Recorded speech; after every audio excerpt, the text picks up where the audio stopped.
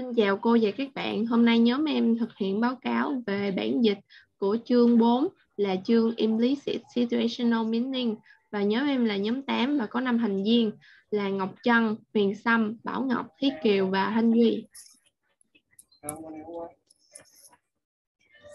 Information which is left implicit when talking to one person may be made explicit when talking to another.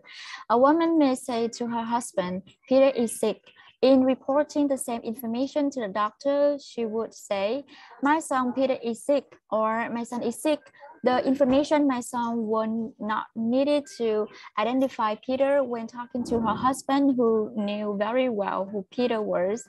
Often is normal conversation. There's much uh, which is going on in the situation, which make it possible to understand exactly what it means without using many words. For example, a mother seeing her child about to put his hand in the fire cries out, no, the, child, the child understand the message. Don't put your hand in the fire. All of this information is carried by one word, no, because of the situation. In a different situation, no might mean something very different. As when used to answer the question, did you go to town today? In that case, the implied information is not found in the situation, but in the question which had been asked. That is in the linguistic context. Thông tin được coi là hàm ý khi nói chuyện với một người có thể trở nên rõ ràng, cụ thể khi nói chuyện với người khác. Một người phụ nữ có thể nói với chồng mình, Peter đang bị ốm. Khi trình bày lại thông tin này cho bác sĩ, bà ta sẽ nói, Peter, con trai tôi đang bị ốm hoặc con trai tôi đang bị ốm. Thông tin con trai tôi là không, không cần thiết. Khi xác định danh tính Peter trong lúc đang nói chuyện với chồng bà ấy, người biết rất rõ Peter là ai. Thông thường trong các cuộc hội thoại bình thường, có nhiều thứ diễn ra trong các tình huống cụ thể. Nhờ những tình huống đó mà ta có thể hiểu được chính xác những gì đang được nói mà không cần dùng quá nhiều từ. Ví dụ, một người mẹ khi nhìn thấy con mình sắp đưa tay vào lửa và ta đã hét lên, không, đứa trẻ sẽ hiểu cái thông điệp đừng chạm tay vào lửa. Do tình huống nên tất cả những thông tin này đều được hiểu bằng một từ không. Trong một tình huống khác, không có thể mang nghĩa khác. Ví dụ như khi được sử dụng để trả lời câu hỏi, hôm nay cậu đã đến thị trấn chưa?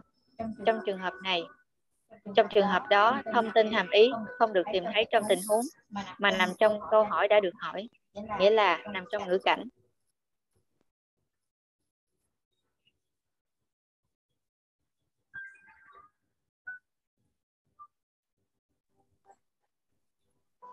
Information it is quite possible from, from one culture to read a story written about happening in another culture and not understand the story at all because so much information is left implicit. For example, Richard, 1979, working with speakers of Bora, Brazil, was attempting to translate one of their stories into Portuguese, but he found it very difficult because the text itself did not identify the various participants in the story. The storyteller had not made this information explicit because everyone in the culture knew who did what at the festival he was describing. The language structure did not make it necessary to include this information, and since the common culture applied it to his audience, it was left implicit. However, a translation into Portuguese required that the information be made explicit if the story was to be understood. In order to adequately determine the meaning of the text, one must know the situational setting of the communication. Rất có thể một người ở một nền văn hóa đọc một câu chuyện viết về một sự việc xảy ra ở một nền văn hóa khác và hoàn toàn không hiểu câu chuyện vì có quá nhiều thông tin bị ẩn đi. Ví dụ, Richard làm việc với những người nói tiếng Wara đã cố gắng dịch một trong những câu chuyện của họ sang tiếng Bồ Đào Nha, nhưng cô cảm thấy rất khó khăn vì bản thân văn bản không xác định được những người tham gia trong câu chuyện. Người kể chuyện đã không tiết lộ thông tin này một cách rõ ràng, bởi vì mọi người trong nền văn hóa của họ đều biết ai đã làm những gì tại lễ hội mà anh ta đang mô tả. Cấu trúc ngôn ngữ không cần thiết phải bao gồm thông tin này, và vì nền văn hóa chung đã cung cấp thông tin đó cho khán giả của anh ấy, nên nó đã bị ẩn đi. Tuy nhiên, bản dịch sang tiếng Bồ Đào Nha yêu cầu thông tin phải được trình bày rõ ràng nếu muốn câu chuyện được hiểu. Để xác định đầy đủ ý nghĩa của văn bản, người ta phải biết bối cảnh tình huống của cuộc giao tiếp.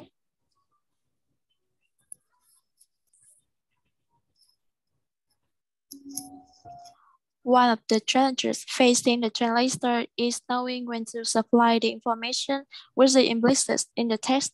The author may have written for people with the same culture and the same appearances as his, but the translator or those whom he would like to read his translation may not have this background and may not know much of this implied information. They may not to may not be able to understand his translation unless he makes some of this implicit information from the communication situation implicit. Một trong những thách thức mà một dịch giả phải đối mặt chính là biết được khi nào cần đưa ra những thông tin hàm ngôn bên trong văn bản bởi vì có thể là tác giả đã viết cho những độc giả có cùng văn hóa, trải nghiệm nhưng đối với các dịch giả khác hoặc những người muốn đọc bản dịch của anh ấy mà không có nền tảng cũng như sự hiểu biết sâu rộng về các thông tin hàm ngôn đó, thì khó có thể hiểu được bản dịch của anh ấy, trừ khi anh ấy đưa ra một số thông tin hàm ngôn đó từ các tình huống giao tiếp một cách rõ ràng.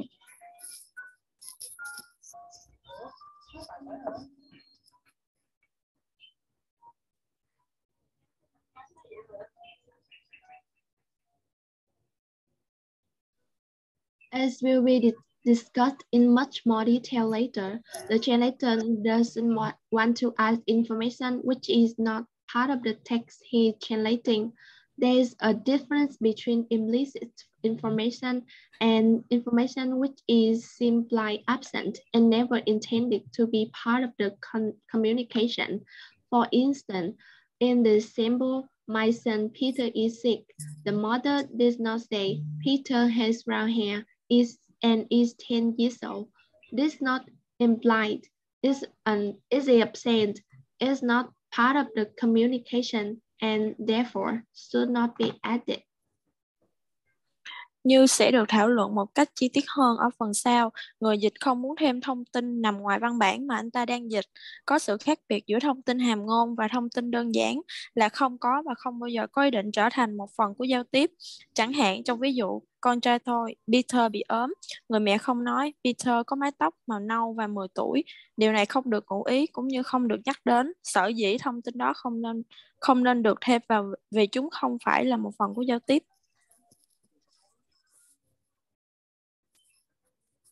If, if a person wrote, John made the Queen list, he is assuming that the reader know that the Queen of England is indicated. However, for an audience that did not know this fact and had never heard of the Queen, much less her list, the implied information would need to be added.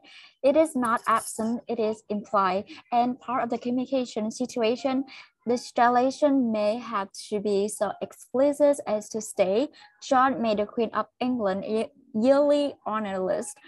Implicit information needs to be added only when it is necessary to communicate correct meaning or to ensure naturalness, naturalness of form in the receptor language translation. It will sometimes need to be made explicit because the source language writer and his audience share information which is not shared by the receptor language audience. Nếu một người viết John làm ra danh sách của nữ hoàng, anh ta đang cho rằng người đọc đã có kiến thức nhất định về nữ hoàng nước Anh. Nhưng đối với những cá nhân hoàn toàn không không biết nữ hoàng là ai, cũng như chưa chưa hiểu danh sách của nữ hoàng là gì, thì những thông tin bị lược bớt cần được thêm vào. Đây không phải là sự thiếu sót, mà là sự bao hàm.